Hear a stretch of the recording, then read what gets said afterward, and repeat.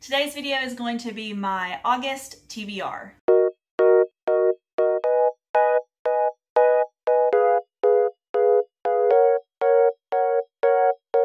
So I have not been very good about keeping up with my TBR lately and that's just part of who I am and I think that I read a lot on the whim and I change my mind but I do like to kind of give you an idea of what I'm thinking about reading so at least you kind of get an idea of what to expect. So these are the books that I hope to read and I may end up switching it up but we'll see. First up I wanted to tackle a project that I see a lot of manga readers do. It's something that I think is important to just me personally. I don't like to have a lot of garbage on my shelves. I want to read something. If I like it, I keep it. If I don't, I trade it in for something I enjoy more or something new I want to check out. So I want to reread a lot of my manga that I haven't read in a long time. And the first thing I want to check out again is Chobits. I have every volume except the eighth one, which is the final volume. It's on its way in the mail. I just found a copy of it and I have the Tokyo Pop editions.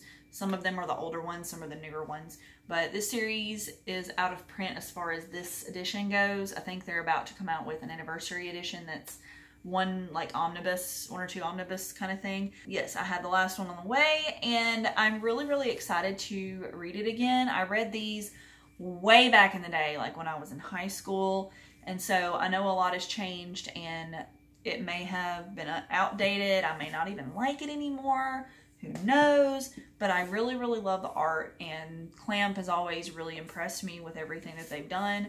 So I'm really, really excited to check these out. I like the overall idea of it. Um, it's basically a story about a android named Chi who gets found in the trash by this young boy. And in this world, Persocoms, which are people, look like robots and they just do computer stuff for you and it's just shenanigans and a love story and also like a weird mystery. Like i really don't remember a lot about the story.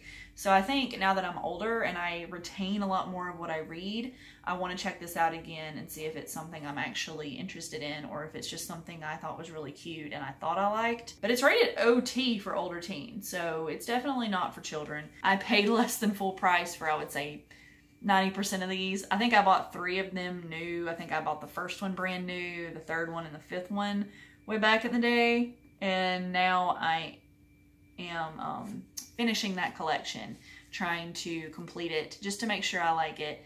And um, if I don't, I'll resell it. I'll find someone who wants the whole collection and I'll trade it with them or something but I did want to go through that. I'll probably do a reading vlog on it because I think that would be really interesting and some people might want to see that. So let me know if you do want to see that in the comments and I'll be sure to do that. The next thing I hope to read this month is one that I've already started. It is Every Heart a Doorway by Seanan McGuire. This is one that I had in my last month's TBR and I did technically start it. I'm just doing it in a separate project that I'm working on with something and I'm reading it really slowly so it's it's very good. I am enjoying it so far, but I don't know a ton about this. I just know that it's like a story about wayward children who fell through doors like Narnia and Alice in Wonderland and things like that. They just fall into that world and then they come back to the real world and they have to deal with that. And they go to like a boarding school and there's this woman there who is going to help them deal with it or something like that. And I think there's also like a murder mystery in here, but it's such a short novella that I don't know how you're going to pack that much into it, but we'll see. You know, it's a whole series of books. There's a bunch of these little novellas, so if I like it, I've got a lot of content to consume, and if I don't, then I've only bought one of them, and it's not a big deal, but we'll see how it goes. I'm liking it so far. Um, they're kind of expensive, honestly, in my opinion. Um, they only come in hardcover, and it's like $18 for this thin book.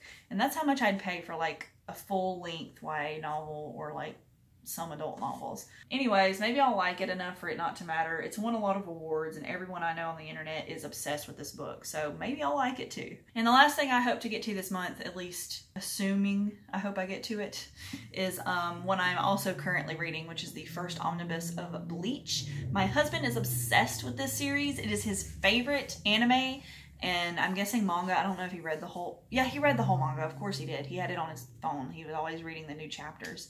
So it's his favorite series ever, franchise or whatever, other than like Mortal Kombat, but that's like not a manga. I want to read it. Like I don't really love the anime. I'm not gonna lie. I'm watching it with him, but we're on the Bount arc, and it's so bad. Like anyways, I'm not going to go into that. But it's not really in here. It's not even a part of the story. So I like the art better in the manga than I do the anime. I think it shows more stylization of the artist, and Tite Kubo is very talented. There, I think there's also like they're about to finish animating the new like the end of the show.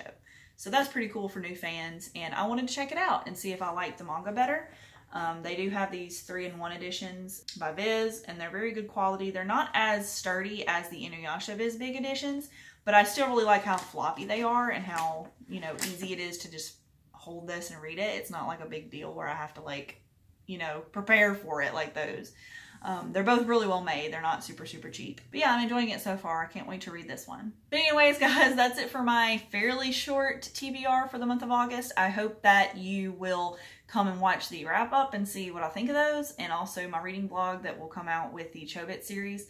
I'll let you guys know what I think of that and I hope you guys are having a fantastic day. If you are, please give me a thumbs up and let me know what you've been reading lately in the comments below. I want to know what manga or books you've been reading. Um, I've been in more of a manga kick lately, if you can't tell with my TBR and my wrap up. But I go back and forth between wanting to read more books and more manga, some comics, like comics get thrown in there randomly.